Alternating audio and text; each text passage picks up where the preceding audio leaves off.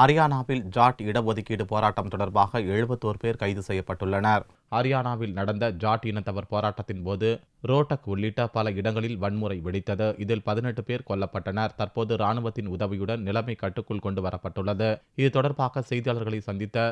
ரோட்டக் மாவட்ட police SP Shashank Anand ரோட்டக்கிள ஜாட் போராட்ட கலவரம் தொடர்பாக இருநூற்றி முப்பத்தி ஒன்பது வழக்குகள் பதிவு செய்யப்பட்டு எழுபத்தோரு பேர் கைது செய்யப்பட்டுள்ளதாக தெரிவித்தார் அசம்பாவிதங்களை தவிர்க்கும் வகையில் போலீஸ் பாதுகாப்பு தீவிரப்படுத்தப்பட்டுள்ளதாகவும் அவர் கூறினார்